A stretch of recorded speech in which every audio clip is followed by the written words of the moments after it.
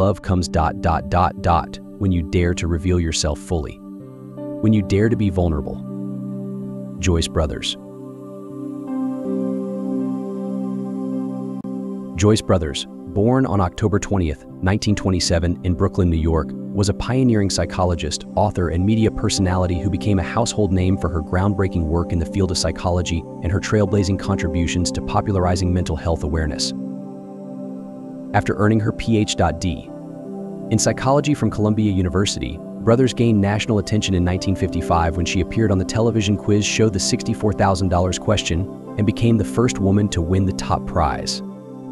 This catapulted her into the spotlight, and she leveraged her newfound fame to raise awareness about mental health issues and offer advice to the public through various media outlets.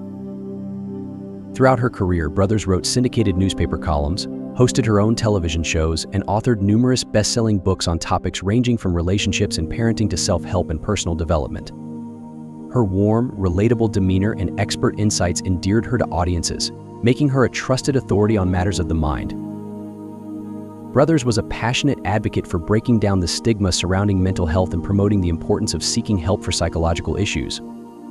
She used her platform to educate the public about therapy, stress management, and the power of positive thinking, helping countless individuals lead happier, healthier lives.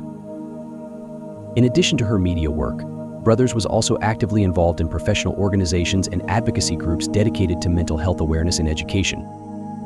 Her efforts to destigmatize mental illness and promote psychological well-being have had a lasting impact on society, leaving behind a legacy of compassion, understanding, and empowerment.